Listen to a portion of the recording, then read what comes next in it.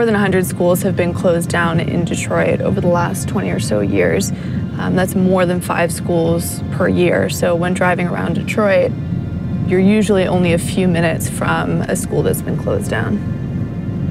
Here's one of the closed down schools. Um, you can see it's all boarded up here. Already there's another closed school.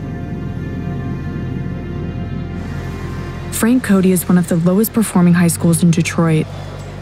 It consistently ranks in the bottom fifth percentile on state exams, and last year, the state threatened to close it down if test scores didn't improve. How has your experience been at Cody? We don't got enough advisors, we don't got enough electives, we don't got enough resources to make our education better. Like we don't got no art class. They took that away. We don't have like all of us don't get Spanish class. Only certain 11th graders get Spanish class.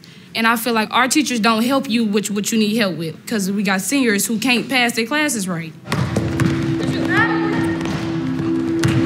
Do you guys want to be when you graduate? What do you want to do for work? What are your dreams for your future? Uh, me personally, I want to be a become a WNBA All-Star, superstar, and everything. Go, go. Okay?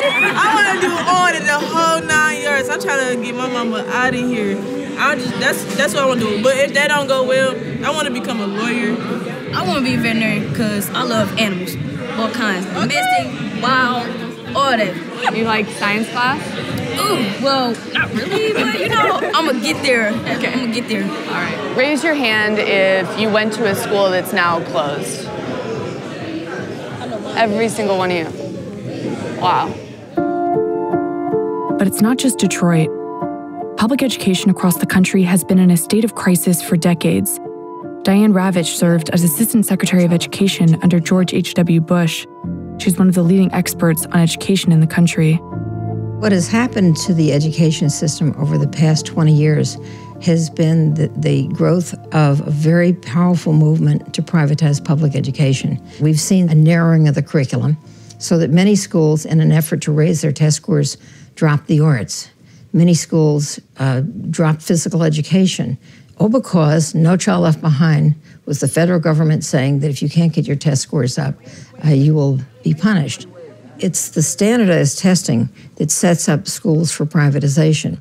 As school choice gained momentum, the largest growth has been charters, privately run schools funded with public money. No one had any evidence that charter schools were better than public schools, but nonetheless, they were proposed as a remedy. When students leave traditional public schools and go to charter schools, how does that affect the not only the school district but the communities? In district after district across the country, we've seen the growth of charters accompanied by uh, the loss of funding to the public schools, meaning that they have to cut. What people don't realize when they hear charters is that every dollar that goes to charter and vouchers is a dollar taken away from public schools. The governor of Michigan, the Honorable John Engler. One of the first states to embrace school choice was Michigan, where 25 years ago, the state radically overhauled its public education system. Ladies and gentlemen, public education is a monopoly, and monopolies don't work. As market competition was introduced, Michigan's education system became one of the most deregulated in the country. In Detroit alone, close to 100 charter schools have opened since 1995, while nearly 200 traditional public schools have shut down in the same time. One third of the district schools need to become charters if they're to survive. This place is now on borrowed time, set to close June The end of an era for West Michigan's largest school district as students and staff said a final farewell. If you close all the public schools in your area and you pop up two or three charter schools, what is the choice? You have no choice. Aaliyah Moore grew up in Detroit, where she's now raising her two daughters. She started fighting for public education after the state closed her neighborhood school in 2013. It was almost like if we can get rid of these schools, then we can get rid of this district and charter it out. When charters first came to the city, it was like don't send your children to filthy public schools. Go to nice charter schools, nice academies. Our children are dressed in uniform. Our children walk on blue lines. And it was more of a, uh, to me, a prison or jail mentality, you know, not really open to parent input and involvement. You know, just get the dollars, get the kids. And even if our school fails, we can close down and open another one in another name. It's a business What do you say to those who, who say that they want to give families like yours school choice? That kind of angers me when I'm hearing that so much now. Choice, choice. It's a choice. This was my choice. At the center of Michigan's experiment in school choice is current Secretary of Education Betsy DeVos. The DeVosses are a powerful force in conservative politics, both in Michigan and around the country. Since lobbying to introduce charter legislation, the family has spent an estimated $7 million promoting the unregulated expansion of choice. And with Betsy DeVos now working in the White House, her model may be representative of what's to come nationally. Do you believe parents should be able to choose the best school for their child regardless of their zip code or family income? Me too, and so does President Trump. Former state representative Lamar Lemmons has seen the influence of the charter lobby in the Michigan House firsthand. How strong is the charter lobby here? It is extremely uh, uh, strong, and, and particularly that Betsy DeVos and the DeVos family uh, essentially spearheaded. Betsy DeVos has said that public schools here are financially and educationally unsuccessful. She suggested retiring DPS. Does she have a point? No, she does not. In fact, she helped undermine DPS with her influence with the state legislature. Did the state government intentionally close down hundreds of traditional public schools in order to create opportunity for charters? I believe so. Because no one would attend them if our schools were performing as they were. So they had to create a crisis and then drive the children, we call them educational refugees, into the for profit charter schools. But the charter schools, as, in, in, as a rule, don't perform as well as the public schools. Nationwide, studies have shown that most charter schools haven't produced better results than traditional public schools. In Michigan alone, about 80% of charter schools perform below the state average. And as they've expanded, Michigan has dropped to dead last in terms of educational improvement and is the only state to have regressed in the past 15 years. But the DeVos family has continued to advocate for school choice. They even founded their own charter school in their hometown of Grand Rapids. We're at West Michigan Aviation Academy, and this 18 year old student is about to fly us in this plane.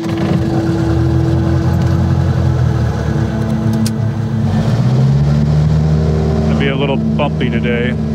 Nine Lima Mike, what's your on course heading to Romeo Sierra Kilo?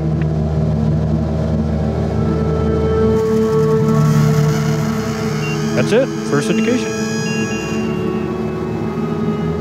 Dave is a senior at West Michigan Aviation Academy, one of the best charter schools in Michigan.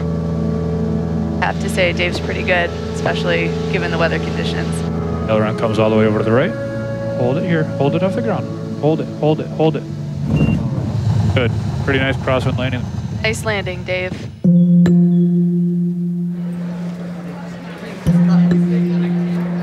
For those who understand the traditional public school model more so than this one, you're essentially the superintendent of this one school. Correct. As the CEO, which I don't love that title, but that's the title that I have, um, they expect me to run the operation, and there's very little bureaucracy. Um, they expect, you know, short briefs on things that are happening here. So is it kind of more structured like a business? Yeah, I think it's more of a business model, more of a board of directors, more of a corporate feel toward. We have a lot of teachers that are fresh from college, and so they are relatable for us high school students, and they dedicate so much time. What I love most about the school is the opportunities that it provides for everyone. Like, whatever you want to do, the school helps you get to that goal and it helps you find where you are in society and like what you want to be. I know you have a diverse student population. I'm noticing all the pilots are white. Why is that?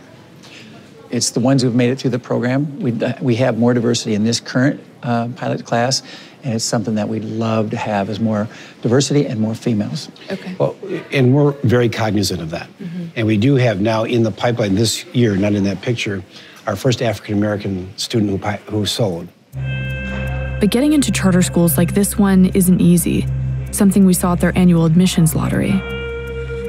First name is Avery Walter, Kendall Springborn. Ashley Escobar. Sarah Herwire. Number 70, Matthew Kleinstra. Charles Cordis.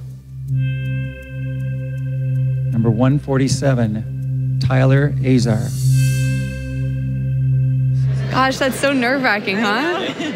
what were you thinking as you saw those 140 whatever names go up? I thought I was not going to get in at all because that was 147. 147 out of Uh, I think 155. 155. Wow. The debate over school choice has reached a boiling point across the country. While Betsy DeVos declined our request for an interview, her husband Dick DeVos, one of the most powerful education lobbyists in the country, agreed to sit down with us. Over the last few months in reporting this story, we've seen some really impressive charter schools, including yours. We've also seen the effect that charters have had on traditional public schools. Does that concern you at all? Well, I think I think there has been effect of, of charters on public schools, and my hope is that that effect has been positive.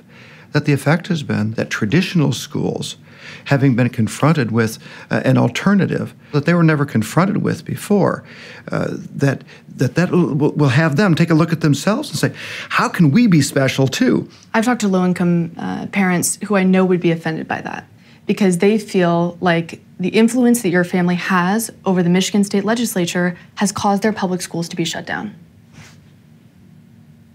Okay, I, I appreciate I appreciate their perspective. The, the answer is we we don't we haven't. Mhm. I, I don't know how I don't know how they can come to that conclusion. For in a in, fairly speaking, I think lobbying for pro charter legislation, funding campaigns of candidates who are voting strictly pro charter, contributing to the Michigan Republican Party, whose stance on education is pro charter. Um, I think those would be their reasons. And they feel like the, the rise in charters is defunding their public schools. I think that's what they would say. and, and I appreciate the point of view. You know, and, and, and I respect that. I respect their point of view. On average, when you look across the country, charters don't outperform traditional public schools. How do you sort of push for growth of charters when we don't know they're any better than traditional public schools? Why are parents choosing charters? Nobody's forcing them to go to a charter school. If parents weren't choosing charters, charters wouldn't exist. Parents are making these decisions, not bureaucrats, not me, not you. Parents are choosing these alternatives because apparently they think they're better for their children.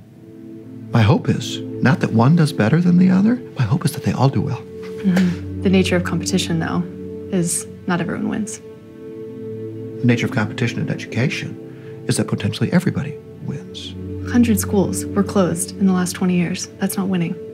Children are getting a better education as a consequence of new options and new choices and new possibilities. That is winning.